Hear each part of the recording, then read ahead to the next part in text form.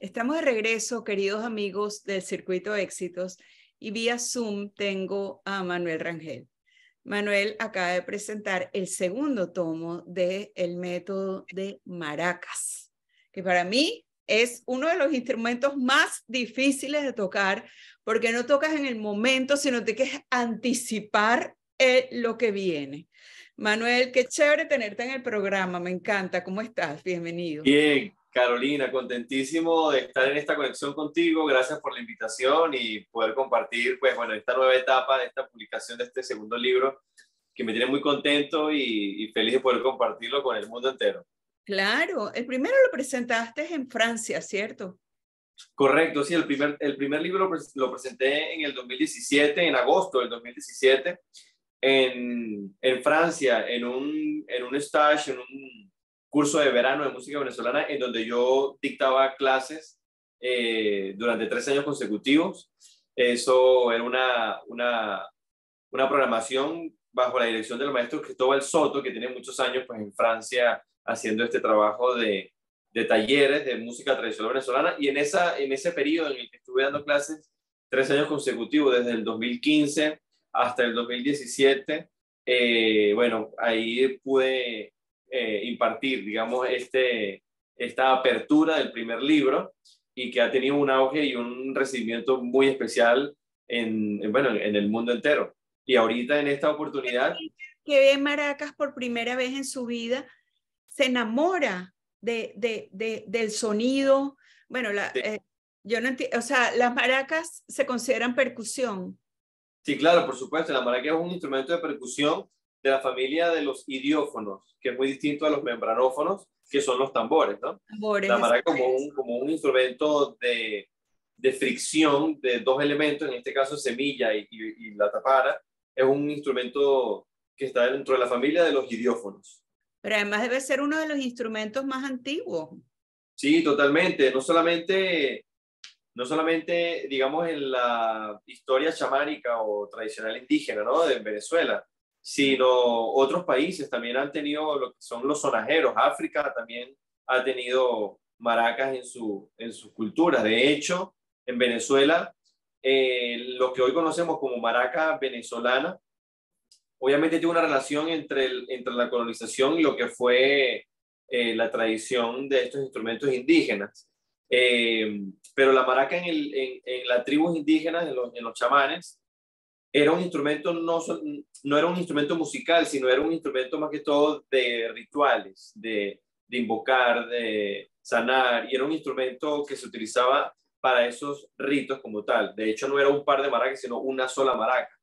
Entonces, digamos que no hay como una documentación exacta que diga en qué momento la maraca de un chamán pasó a ser un par de maracas y en qué momento ese par de maracas empezó a colarse dentro de la tradición venezolana, ¿no? Lo que hoy conocemos como tradición. Pero sin duda alguna, pues es un instrumento netamente venezolano y que ha tenido un crecimiento vertiginoso en los últimos 65, 70 años y que hoy por hoy, pues bueno, sigue sembrando y sigue abriendo camino. ¿Cómo empezaste tú con las maracas? ¿Cómo te enamoraste de las maracas? Bueno, mira, eso fue una, es una historia eh, muy especial porque yo crecí en una familia muy, muy melómana, ¿sí? muy conectada con la cultura, con la tradición venezolana. Mis padres muy, muy amantes de, de, distintos, de distintos proyectos musicales y, con muchas amistades de, de grandes músicos en, en, en, Barquisimeto, donde vivíamos. Eh, mi padre, bueno, canta y toca cuatro y también toca las maracas. Y él era como el, el, digamos, el, invitado especial en las reuniones, tertulias, donde no había maraqueros, mi papá era quien tocaba las maracas, ¿no? Entonces, bueno, yo aprendí a tocar maracas a través de mi padre. Eh, ya yo venía con formación musical en el conservatorio, también venía de una escuela de música popular cerca de mi casa en Barquisimeto, pero yo estudiaba, era más que todo la guitarra, fue como el, el instrumento que estudié académicamente, y un poco de cuatro. Pero las maracas eh, las tomo en un momento en el que yo soy el menor de tres hermanos y bueno, mis hermanas ya tocaban el instrumento, en este caso lo dominaban mucho mejor, las maracas, pero en un momento en el que estaba en un coro, de, niños, eh, ya me estaba cambiando la voz, ya me estaba entrando en el proceso de desarrollo y la directora Carmen Alvarado me pidió que me quedara en la agrupación, en el coro como músico. Y ahí fue cuando empecé a trabajar tanto con la guitarra como con las maracas. Y ahí se empezó a abrir esa brecha. Digamos que yo nunca decidí o, o, tuve como la, el deseo de decir quiero aprender a tocar maracas, sino fue más que todo un tema de circunstancias que llegó a mis manos. y tan feliz, Manuel, ¿no? Te voy a Vamos a identificar el circuito y ya venimos contigo. Perfecto. venimos con el maestro Manuel Rangel. Continuamos, amigos del Circuito de Éxitos. Estamos conversando con el maestro Manuel Rangel. Acaba de presentar su segundo tomo de Las Maracas. Cinco movimientos básicos para hacer algo así como 200 movimientos. ¿Cómo es eso? Porque las estaciones de 5 son 120, no son 200. ¿Cómo es eso?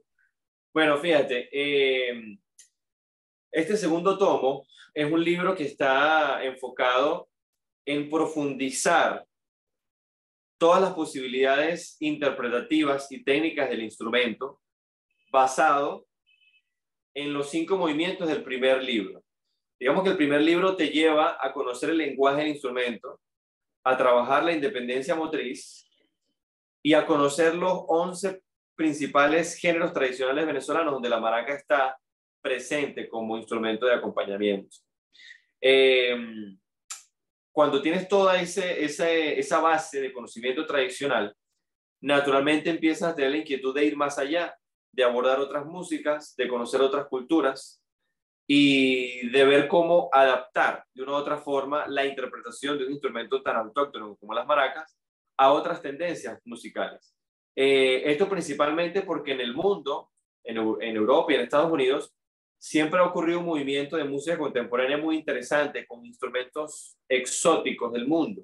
Y la maraca es uno de estos instrumentos que es muy atractivo para un nicho importante de percusionistas. Claro. Y estos percusionistas... Mira, sí, para eh, uno que creció viendo las maracas, que tú dices, o sea, es, es parte de nuestro ADN, ver a un buen maraquero es una cosa que te fascina, o sea, que te quedas extasiado. Ahora imagínate para alguien que ve unas maracas por primera vez o que, o que no las ha visto mucho, tiene que ser algo fascinante absolutamente. Total, total. Entonces, bueno, eh, con, esa, con esa intención de expandir los recursos técnicos y, y, y aperturar un poco más el lenguaje del instrumento, quise hacer estas 200 combinaciones que son eh, las 200 permutaciones posibles dentro de los cinco movimientos, pero estas permutaciones o estas combinaciones, de, estas 200 combinaciones, digamos que están agrupadas de 20 en 20, porque cada grupo de 20 de estas combinaciones está enmarcada dentro de una fracción numérica de un tempo distinto, que son tres cuartos, cuatro cuartos, cinco cuartos, cinco octavos, seis octavos y siete octavos que son distintas medidas rítmicas que se consiguen en múltiples culturas del mundo y eso te permite pues ver las otras posibilidades del instrumento y así expandir aún más. Digamos que ese es el primer capítulo.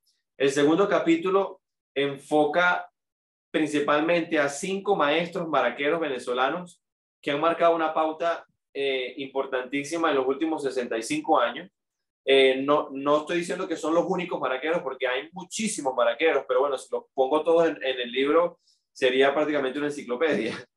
Eh, pero en este caso quise escoger a cinco maraqueros venezolanos que tienen una referencia importantísima, que siguen estando vivos, que siguen estando activos con el instrumento, que son José Pérez, Coromoto Martínez, Trino Chiche Morillo, Juan Ernesto Laya y Manuel García. Para mí son cinco maraqueros que han marcado unas líneas muy eh, definidas de interpretación y mi intención fue transcribir con la propuesta gramatical que propongo en ambos libros, transcribir la forma de cómo ellos interpretan el instrumento y cómo piensan musicalmente con el instrumento. Y es fascinante porque cada uno de ellos en su mente vive un mundo completamente distinto musical y aún así coexisten de manera armónica.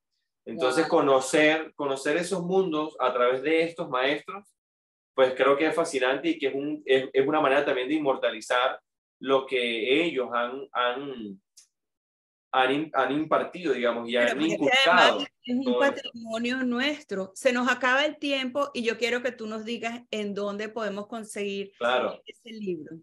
El libro lo pueden conseguir en mi página web www.manuelmaracas.com. Está disponible para todas partes del mundo, eh, tanto el primer libro como el segundo libro. Ambos libros traen un curso online con una cantidad de videos. En el caso del primer tomo, 144 videos y en el caso del segundo tomo, 200 videos que están animados, ilustrados y eso acompaña los cuatro capítulos de ambos libros. Así que en mi página web www.manuelmaracas.com pueden hacer eh, la solicitud de estos libros, de los cursos y podrán disfrutarlos en sus casas, pues, el resto de la vida. Claro que sí, Manuel. Muchísimas gracias por habernos Muchísimas gracias por la invitación. Lo voy a decir más lento, www.manuelmaracas.com. Gracias a ti por habernos acompañado. A ti. Despedimos al maestro Manuel Rangel, identificamos el circuito y ya venimos.